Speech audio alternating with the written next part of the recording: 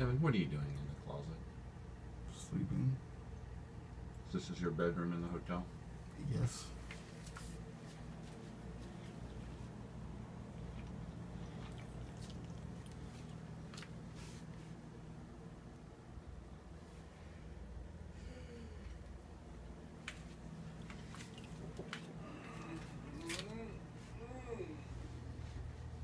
It's just slightly odd. Well, you gotta do what you gotta do to sleep.